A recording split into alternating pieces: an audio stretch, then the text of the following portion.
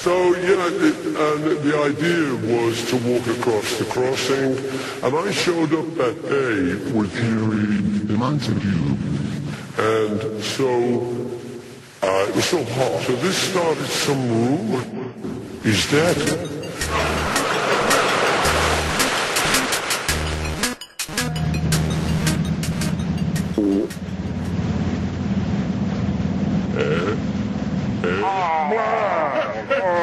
Is,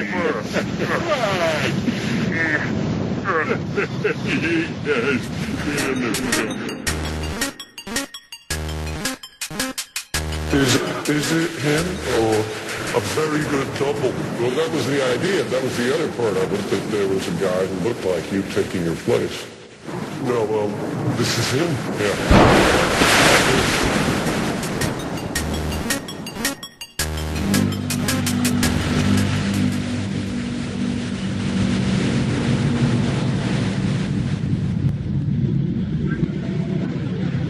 Shaftesbury Street 37, Belfast, Northern Ireland. Now there's a KFC.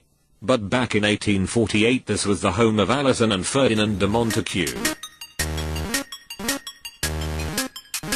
Although very little is known about the young Harry, it's believed that he was born here on the 10th of June, in the year 1948, just after the Second World War.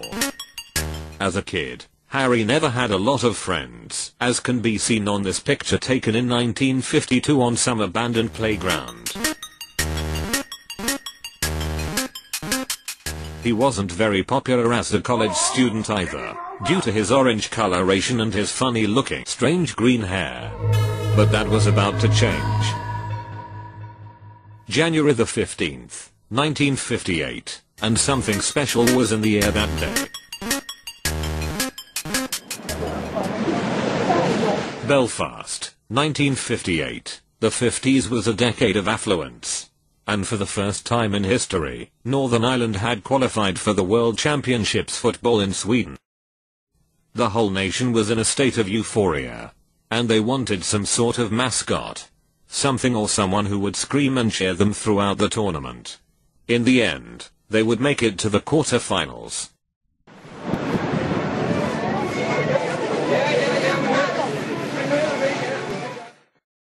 Ireland have won, and for the first they go to the final round of the World Cup.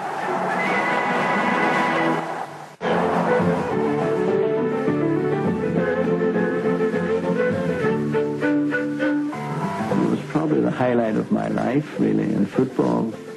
Uh, going to the World Cup with Harry. And a good pass out of McParland, of course this must be it. Oh, and he got three chances in it, McParland.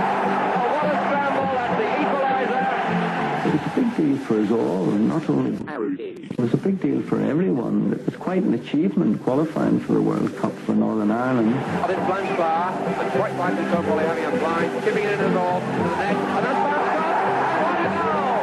Well, our techniques have always been to equalise before the other team scored. I think they scored first and then we equalised, but we equalised the second time before they scored.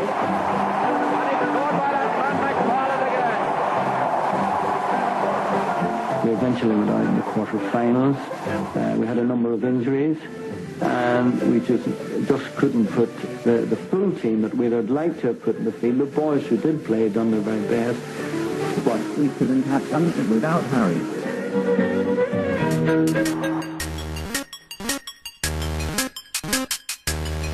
And although they were beaten 4-0 by France, the whole nation welcomed them as true heroes. And Harry was one of them, was one of them, was one of them.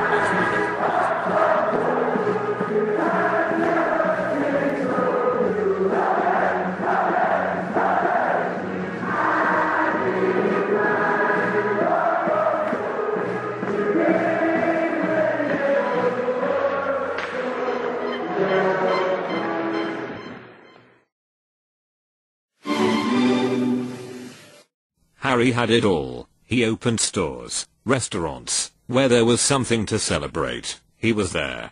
He became so popular that he even got his own TV commercial. Another classical piece by Tyrone Crystal.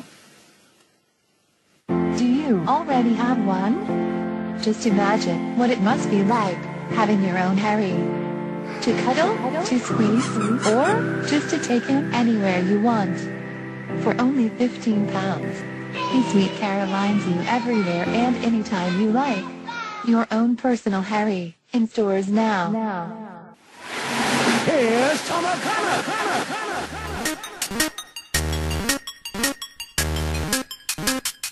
In 1959, Harry joined the Ulster Unionist Party. And to everyone's surprise, they wanted him as their new leader. He had become so popular that it was almost certain that he would become the nation's new prime minister. But then, it all went terribly wrong. We worship the same God, but the principles of our faith are different. 500 years after the Reformation, there are still painful divisions between Prots and Cats. And I hate it, hate it, hate it, hate it, hate it,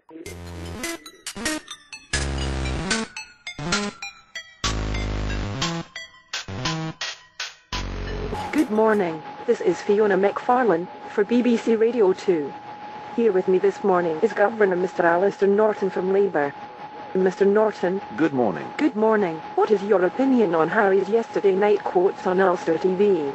Well, in our opinion, it's absolutely intolerable and immoral, certainly in his position, to say things like that on TV.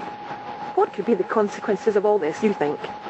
It's hard to say, really hard at this point in time, but this can definitely not be tolerated, and measurements will absolutely be taken. Exactly what kind of measurements do you have in mind? Well, I am unable to tell you now, but there's going to be a press conference at 3 p.m. this afternoon. Then it will all become clear. Thank you, Mr. Norton. My pleasure. For BBC Radio 2, this was Fiona MacFarlane. Back to the studio. Yet again, Harry had made the headlines. It was the last time they would see him. What a shit That miserable little bag of puke. They're all gonna laugh at you! Go away, bitch. Until 1959, Harry was one of the most popular names in the nation. Now, nobody knew where he was, or where he had gone, and it wasn't until August 1965 when a camera first caught a glimpse of Harry again. Or, or did they?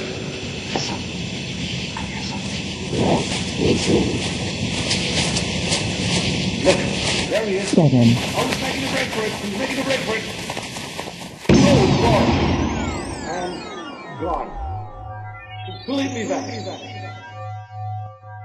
Harry showed up again in 1968.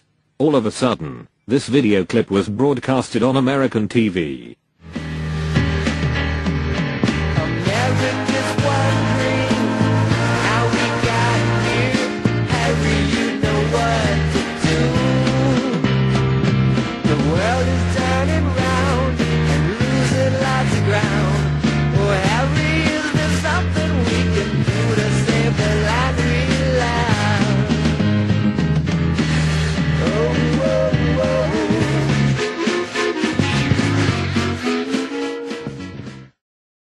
The single Save the Land We Love made it to number 16 in the American Billboard Hot 100. All went quiet again. Until September, later that same year. At one of Harry's live shows, suddenly no one less than Beatle John Lennon joined him on stage. Let's hear from John. I'd like to thank the boys for having me on tonight. We tried to think of a number to finish off with so that I could get out of here and be sick, and we just about know it. One, two, three, four.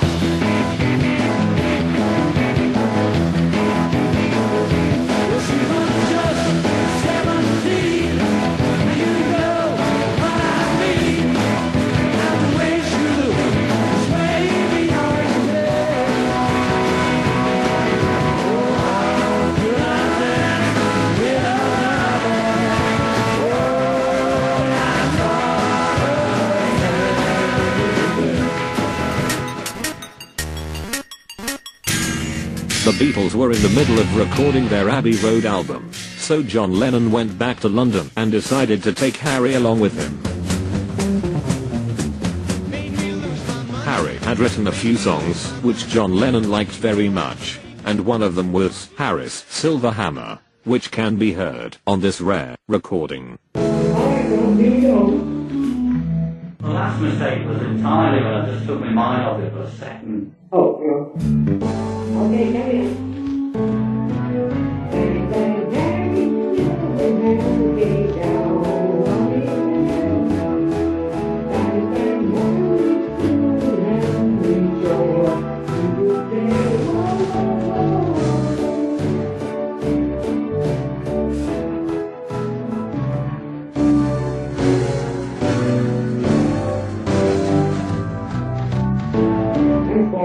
on. No?